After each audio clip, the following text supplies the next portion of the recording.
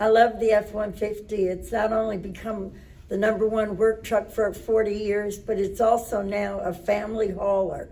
It's spacious and comfortable, and everybody buys one just for their kids and hauling and working. It's a great truck.